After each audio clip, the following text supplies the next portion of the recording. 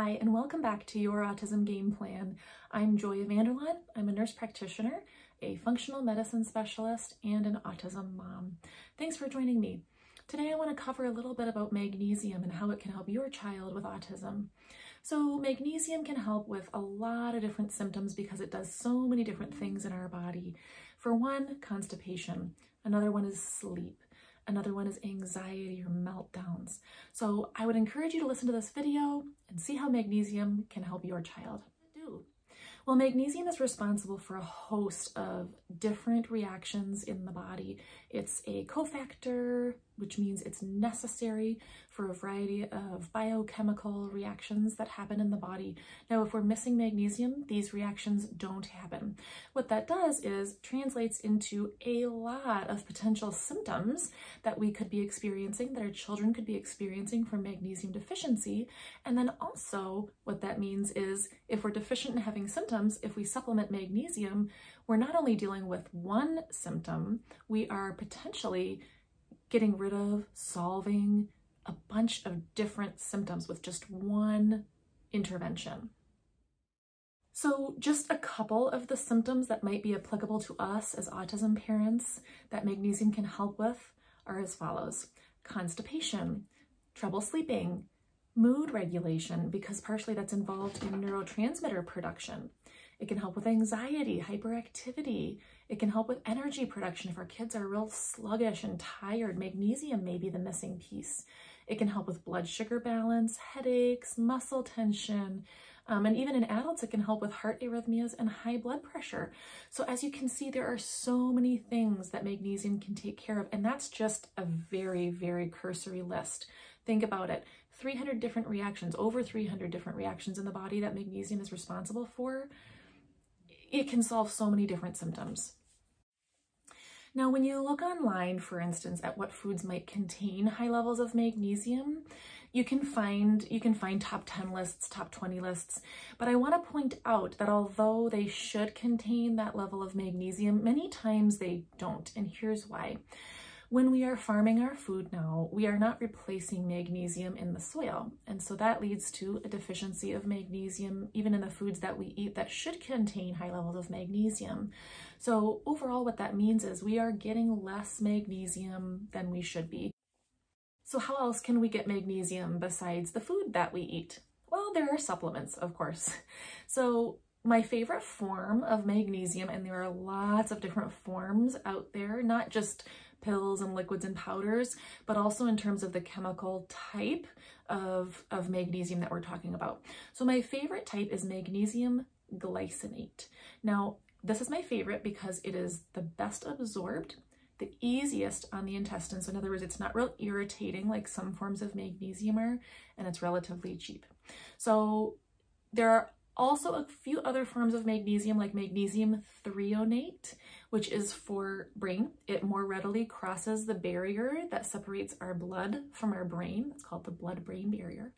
And so the magnesium threonate more readily crosses that blood-brain barrier and can help with more neurologic symptoms. Especially I use this in headaches. Now, magnesium citrate can be used in cases of more severe constipation. Magnesium glycinate does work as well for this, but magnesium citrate tends to be the one I choose when constipation is the main symptom that I'm dealing with. The caveat, however, is that magnesium citrate can tend to cause a little bit of cramping or um, irritation if you take it at too high of a dose, especially if you start with too high of a dose. Typically, how I dose magnesium is to bowel tolerance. In other words, too much magnesium is going to cause, I think of it kind of like a flushing out of the excess magnesium, causing loose stool. We don't want loose stool.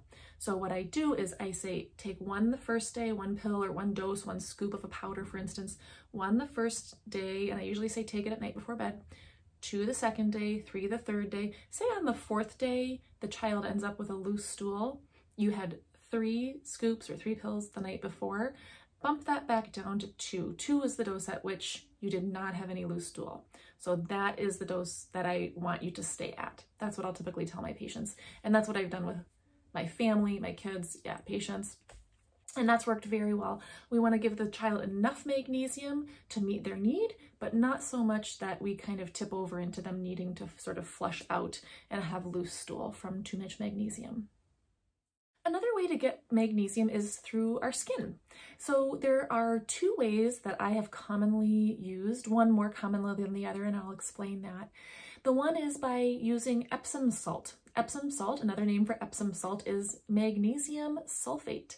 And so the magnesium salts you put in the bath, they dissolve. You can let the child sit in the bath. It's kind of a nice calming tool anyway. Put a little lavender oil in there or, you know, another, another oil that you like the smell of, that they like the smell of.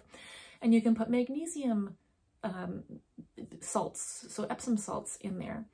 And what that does is it allows the magnesium to absorb through the skin so in the case, for instance, where a child just will not take a pill, a powder, a liquid of magnesium, this might be one of your only options and it can be a really good option.